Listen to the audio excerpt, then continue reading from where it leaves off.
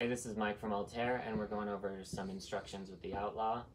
And let's do the aircraft, aircraft compass calibration. So, after you've connected the drone to the controller and you're ready to fly, you need to do this every time you fly if you have disconnected the battery. So, if you have pulled the battery out of the drone and put it back in for any reason, you need to do the aircraft compass calibration prior to flying. It's super simple. Connect the two, the drone and the remote, and then spin the drone 360 degrees three times horizontally until the lights change green like that. Okay?